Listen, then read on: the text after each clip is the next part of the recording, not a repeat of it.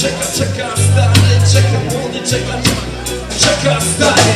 Za granicę delegację jedzie jeden drugi. Posemnić się polepszał, skończył do drugi